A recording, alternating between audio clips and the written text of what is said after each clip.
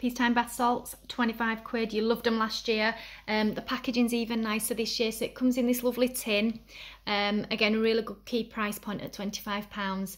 This is a unisex gift. Um, it's actually a really nice couples gift, or maybe um, you know, you, you sort of buy for neighbours. I think since lockdown and stuff, um, people have really relied on each other and people are kind of thinking, oh no, I, I want to buy my neighbours a little gift, whereas you wouldn't have done normally because you'd have just sort of um, felt it were a bit inappropriate, but people are doing that now.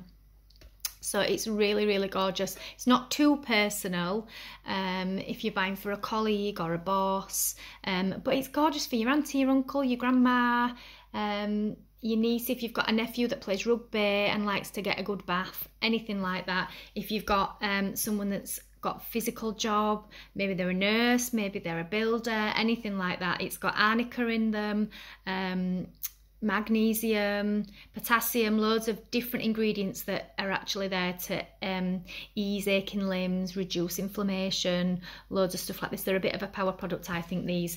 And the smell is gorgeous. So I'm just going to show you how they come. So you get this massive tin and they come like that. So can you see those? And you just sprinkle the little crystals in your bath. Um, oh, they're just gorgeous.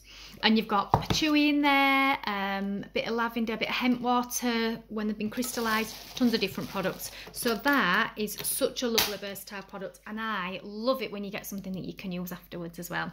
So that's your Peacetime Bath Salts, 25 quid.